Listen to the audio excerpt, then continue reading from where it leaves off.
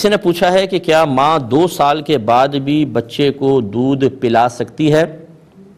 تو نہیں پلا سکتی، اگر ایک دن بھی ایک گھونٹ بھی زیادہ پلائے گی دو سال کمپلیٹ ہوئے، ایک گھونٹ بھی اگلے دن اگر زیادہ پلایا تو یہ گناہ ہوگا۔ کیونکہ اللہ تعالیٰ نے شاید فرمایا کہ والوالدات یرضعن اولادہن حولین کاملین لمن اراد ان یتم الرضاع۔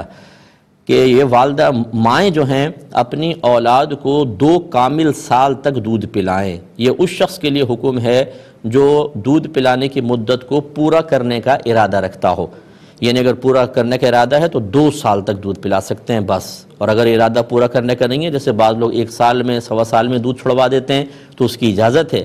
لیکن اس کی جو آخری نہایہ بیان کی گئی ہے، غایت بیان کی گئی ہے، انتہا بیان کی گئی ہے، وہ دو سال ہیں۔ اس کے بعد کوئی ماں اپنے بچے کو دودھ نہیں پلا سکتی ہے۔ بعض بہنیں کہتی ہیں جی چھوڑتے ہی نہیں ہے، کیا کرے؟